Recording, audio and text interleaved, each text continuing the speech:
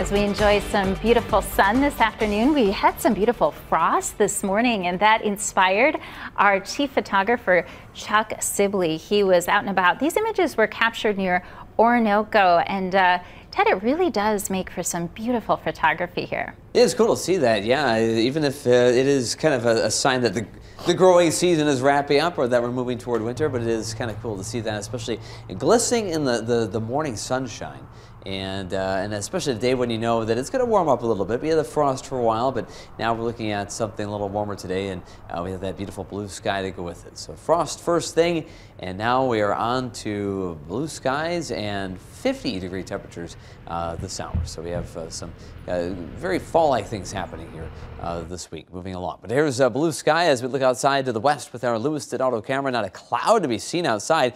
We started the morning with by far the coldest conditions since last April. 32 in Rochester officially at the airport. The, the morning low temperature was 28 this morning in Dodge Center. Owatonna 27 and Mason City 29. So a lot of cold numbers and otherwise a lot of 30s across the map. Winona 36, not nearly as cold there. Uh, 50s yesterday afternoon. Temperatures uh, dropped into the 30s as we saw and now a nice recovery. Just a couple of hours ago we were in the 30s. Now we are in the 50s looking at a beautiful afternoon of some uh, fairly tame winds. Temperatures again 30s this morning. Rochester 32.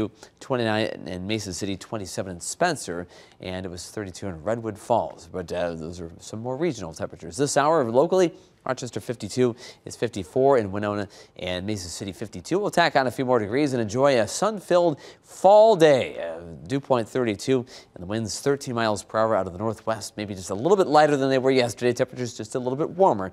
A slight uh, improvement overall. We'll see a slightly uh, improved day again tomorrow as we continue to just build a little more warmth and enjoy some more of the sun for at least one more day. But right now there is one storm system slowly pulling away to the east have clouds across parts of Wisconsin, Michigan. There have been some showers there. Those are moving out, but high pressure is dominating the region now, and we'll continue to do that for another day and a half or so before we do see those inevitable changes. And those will come in for Thursday, and we see those hold on into the weekend. Windy conditions, clouds, showers and quite a bit of rain, in fact, in our future. But right now, future track looking very pleasant, very peaceful. We enjoy some sunshine today, that crisp northwest breeze, but temperatures today in the mid and in some cases maybe the upper 50s. Tonight, uh, temperatures drop off pretty quickly with a light northeast breeze, uh, readings in the low 30s, maybe a couple 20s. It's very possible. Some of those localized pockets. Then tomorrow, a light east wind even as just as much sunshine, really as much as today, and a little more warmth building in. So we're talking upper 50s, low 60s across the map. The warmest day of the week,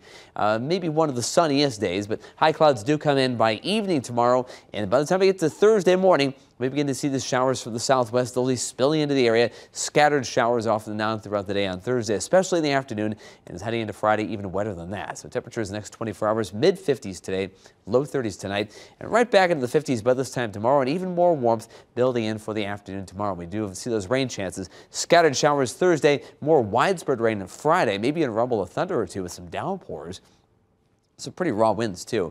And Saturday, uh, it's got a breezy day, maybe a brief shower very early in the day. And these wind gusts will be on the rough side. Thursday and Friday, uh, 30 to 40 mile per hour gusts. Winds themselves sustained around 20 miles per hour and still kind of a breezy Saturday. And rainfall amounts kind of impressive. The possibility more than two inches in a big part of the area, or at the very least an inch. But I do see the possibility that we could see two or more inches of rainfall in those two or two and a half days. Today, though, a quiet, a peaceful fall day. 56, mostly sunny. Northwest winds 5 to 15 miles per hour. Tonight, mainly clear. Some areas of frost after midnight, a low of 33 and light southwest winds. And tomorrow, sunny again, a lighter wind and a, a really pleasant uh, Wednesday. Last really last hurrah, shall we say, before we uh, look, uh, we delve into the murkiness. That is the end of the weekend. That's going to be a breezy, unsettled, and a gray stretch of weather, low 50s. And then the weekend itself, maybe a spotty shower early Saturday, drier, but otherwise breezy and kind of cool. And next week, it's going to take a while to climb out of this hole. Uh, uh, 60s would be typical, or right around 60,